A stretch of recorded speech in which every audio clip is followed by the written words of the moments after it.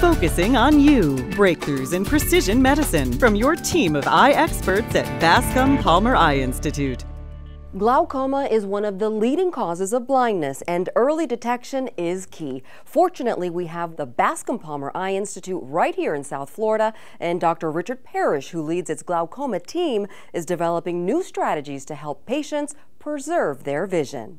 Glaucoma is most likely to develop in patients who are older, over the age of 50, also in certain subsets of patients, those of African American ancestry, in particular patients of Afro Caribbean ancestry, Hispanics, and patients who have uh, diabetes. Early in the condition, there may be no symptoms at all.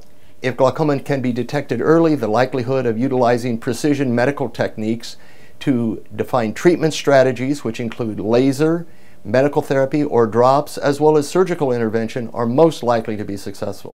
Dr. Parrish, tell me how you're using precision medicine to help patients with glaucoma.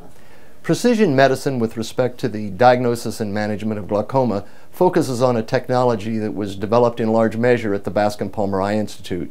This is called optical coherence tomography, which defines the structure of the optic nerve and the surrounding nerve fiber layer at a time before vision loss is present. By detecting it at an earlier level, we can prevent damage from occurring. Focusing on you. Breakthroughs in Precision Medicine is sponsored by Bascom Palmer Eye Institute.